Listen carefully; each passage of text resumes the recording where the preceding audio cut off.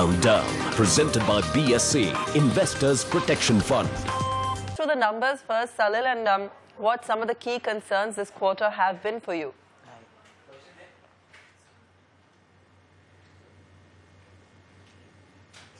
I, I uh, don't understand, uh, you know, why this this thing is always said at the beginning that there are net losses of such and such amount. There have been net losses since beginning, and the net losses have always been going down.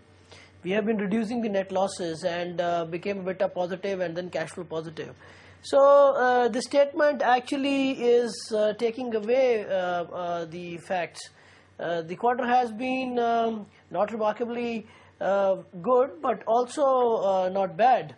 The churn is under control, and the churn, which has sh- shot to about one uh, and above, has come down to 0.6 percent, and we've been sustaining that quarter-on-quarter basis. Uh, there is a price for that eh, because we have increased the prices, and the subscriber acquisition cost has also uh, come down. So there is a price for all this, and that's the reduced numbers. The industry itself has got down in numbers from about uh, uh, it, uh, 10 million maybe last year, and this year it will close down to 7.5 million. But this quarter, as the numbers, the acquisition is higher than last number, so that's another positive thing. The biggest positive thing is that the loan repayment is happening at a time when the uh, economic uh, output is not so great and there are many corporates who are not able to repay the debts. We are repaying debts quarter on quarter basis and this year we've been doing that throughout. Till now about 565 crores have already been paid. This very quarter we paid about 321 crores. So that has brought, brought down the uh, de- debt substantially. The other positive thing is that the other income, uh, uh, non-subscription income, which is carriage fee, has also gone up uh, by 86% as compared to last quarter. So there are various positives. All right, that puts it into context for us. As you said, uh, the churn rate is steady at about 0.6%. Um, we have had, uh, of course, uh, a net loss of 38 crores versus 16, but as you said, there are reasons for that, loan repayments and so forth. So let's take a look at um, the licensing fees, as you said, are up 2%, commission paid is up 17%. Any cause for concern on that front going forward? No, the commission paid up is actually sales and marketing commission, and uh, that there's no cause of concern. Uh, this keeps on going up and down on, in various quarters, uh, so there is no major concern there.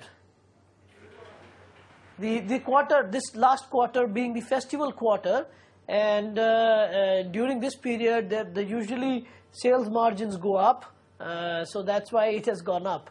Uh, this is just a sales and distribution margin, so there is no concern. This is not a permanent feature. This keeps on going up and down. Depends on how much margin you want to give to your trade partners. All right. What's your outlook going forward in terms of ARPUs as well? This last quarter, they were stood at about 166. What are you targeting uh, in the in the forthcoming quarters? Uh, this quarter, the this quarter, the ARPU uh, is about 166, up from 165 last quarter. And uh, going forward, we see it is going to improve further. There are various initiatives for that. High definition numbers are increasing. Then we have Dish Online, which is the uh, online viewing of TV with the with the objective of TV anywhere, anytime. That is picking up. That is getting traction. We are shortly going to launch another uh, service for our subscribers. So gradually and slowly, there are other revenue streams which are being built up, and uh, since high definition component will also increase going forward, the the ARPU will definitely look upwards, uh, and it has been going uh, upwards only for last couple of quarters. Um, it will improve further.